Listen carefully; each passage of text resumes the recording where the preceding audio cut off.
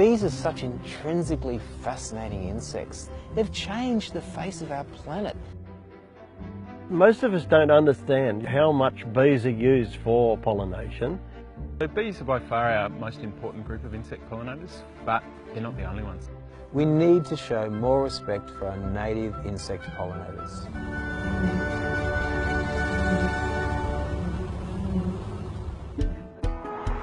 Robinvale, Victoria, home to the mighty Eagles and lucky enough to have two Chinese restaurants. But I'm not here to see any of that. I'm here to see the single largest pollination event in Australia. You see, Robinvale is home to the $500 million Australian almond industry, an industry that quite literally rides on the bee's back. And the bee that bears the load is the European honeybee, or if you want to get all sexy, the Apis mellifera. Introduced to Australia in the 1800s, this bee is found on every continent except Antarctica. They're easily bred and hell bent on collecting pollen, which makes bees like these big business. Every year, buzzing hives from all over Australia attract to southwest Victoria for the sole purpose of pollinating almond flowers. Put it simply, if there were no bees, there'd be no, no nuts. That's Trevor. He has coordinated this pollination party for the past 40 years. This guy's brought a load of bees in from Bateman's Bay and been given this designated spot to put the bees down. I have 185 plus beekeepers on, on the books that I deal with. They vary a lot from 20 hives of bees to five and a half thousand hives of bees. I went to lift one and Craig said, I said, shit, they're heavy. He said, yeah, they're screwed to the pellet. the bees that we bring in uh, like appear to get quite excited about almond uh, flower. I believe that the reason is that there's cyanide in almond nectar. You know, normally cyanide would kill insects, but uh, it seems to excite bees. When it comes to you know, large monoculture orchards like that we're in today, there is just not enough habitat to create enough native bees or native pollinators to, to pollinate these orchards. Let's be honest, if we had to eat potatoes every day and every night for the next three weeks, we'd get sick of potatoes, so bees are no different. But it's not just almonds that honeybees are shipped in to pollinate. They're also used in apples, sunflowers, soybeans, apricots, mangoes, cherries, macadamias, nectarines, peaches, plums. So what would it mean for Australia if the bees we use for crop pollination got sick? In general, the bees in Australia are fairly healthy. Most of the diseases throughout the world we have, except that we don't have varroa mite. But last year we came mighty close after varroa mite was found on a swarm of Asian honeybees in Townsville. Varroa mites are nasty bastards. They attach themselves to the bee, effectively stopping it from collecting pollen and feeding its young. Everywhere around the world where that varroa mite has invaded the country and the bee population has diminished, the prices for pollination has increased substantially and that cost would have to be passed on, you know, by the grower to the consumer. Where it would really be noticed the most would be in the in the homes and backyard they would all of a sudden find they had no bees. To investigate the possibility of alternatives to honeybees is probably an, an essential part of research that needs to be done.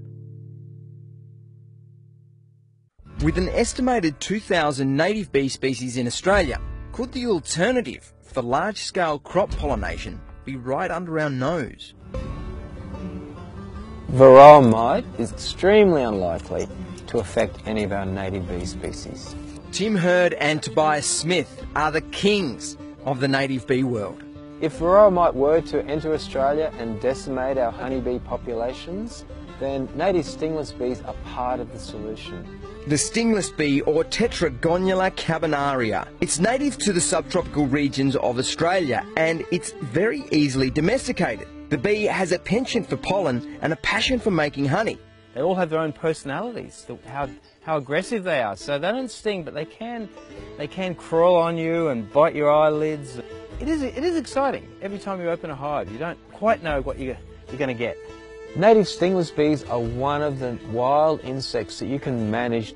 The fact that they can be reared in large numbers means that they're a great candidate for these sort of managed pollination systems. We're seeing more of our agricultural landscapes going over to these monocultures where we grow vast areas of single individual crops. While this might be a very efficient way of growing crops, unfortunately it's very hard on many native insects. In that case, we have to manage them in a more artificial way. We have to introduce those pollinators back into the orchard. Make you nervous carrying around like a, a boot full of bees? It does. It's kind of like carrying a dog in your car. In fact, it's more like carrying a couple of hundred thousand dogs in your car.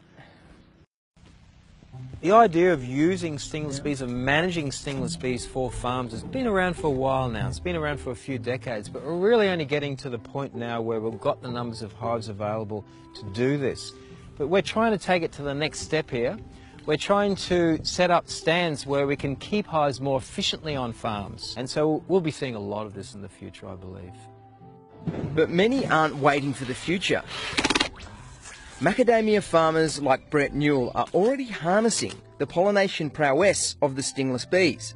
We've only got nine hives currently, so we're not on a big scale by any means, but you know, certainly hoping to grow that. I guess with the macadamia being a native, they have always uh, had native bees foraging on them. Uh, so it's sort of the, the perfect combination, I guess you'd say.